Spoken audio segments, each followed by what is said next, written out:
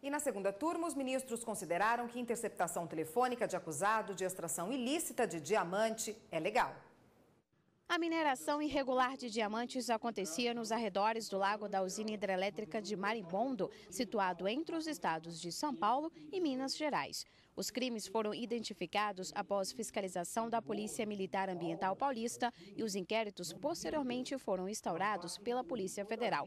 O Ministério Público Federal solicitou a quebra da comunicação telefônica dos investigados sob a alegação de que esse era o único meio para permitir a apuração dos delitos. A defesa de um dos acusados inicialmente questionou a quebra da comunicação telefônica no Superior Tribunal de Justiça, que negou o pedido. Aqui no Supremo, os advogados advogados voltaram a alegar que a interceptação foi ilegal e que as provas obtidas por esse meio deveriam ser consideradas ilegais. O relator, o ministro Ricardo Lewandowski, já havia votado pelo conhecimento parcial do habeas corpus e, na parte conhecida, negou o pedido. O julgamento foi retomado com voto vista do ministro Gilmar Mendes. Após uma análise do caso, o ministro também seguiu o relator. Para ele, as interceptações telefônicas foram devidamente fundamentadas e cumpriram os dispositivos legais exigidos para a quebra do sigilo.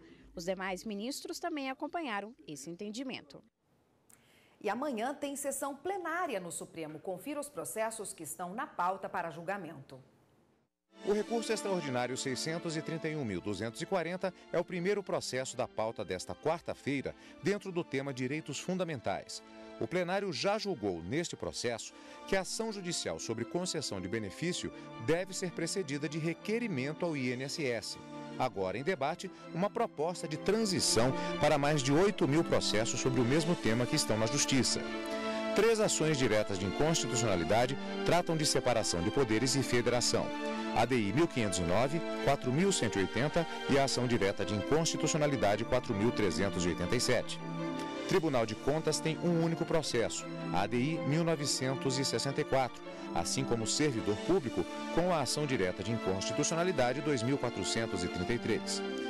Outro tema é tributos e regime tributário, com o recurso extraordinário 567.935. E recurso extraordinário é processo que está em matéria processual, o RE 596.663.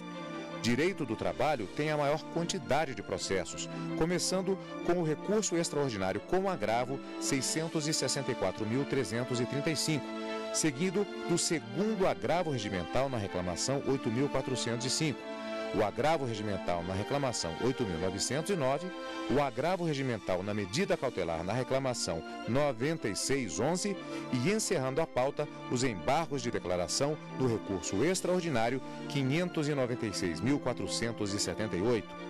Mais informações sobre a pauta de julgamentos no site do Supremo Tribunal Federal www.stf.jus.br.